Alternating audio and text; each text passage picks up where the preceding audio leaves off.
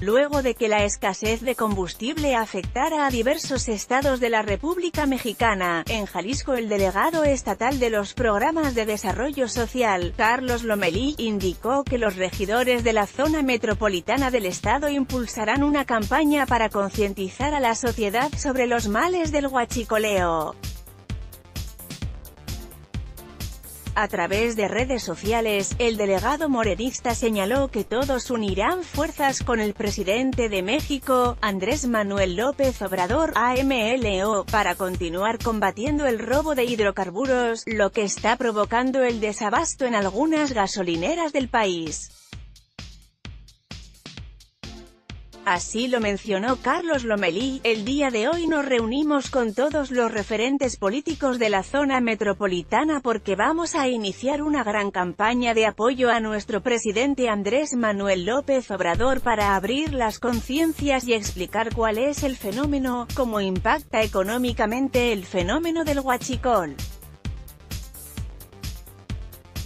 Asimismo, el coordinador estatal mencionó que existirán servidores de la Nación para llevar a cabo asambleas informativas con el fin de repartir los datos necesarios a los ciudadanos para que entiendan la magnitud del problema del huachicol en Jalisco.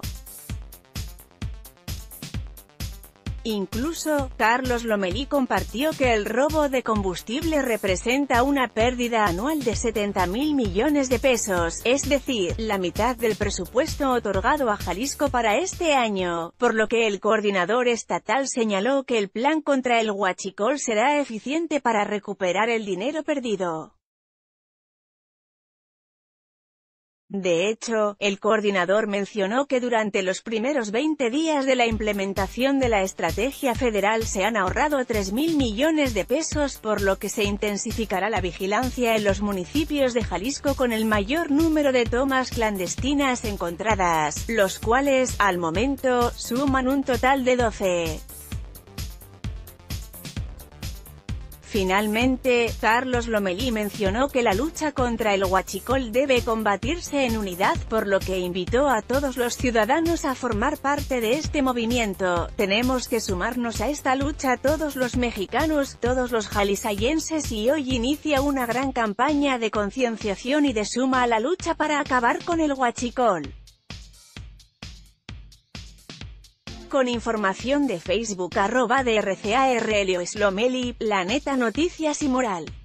Fotografía ilustrativa, especial, tomadas de Facebook arroba de Slomeli. Anímate a comentar. Queremos saber tu opinión. Comentarios Powered by Facebook Comments.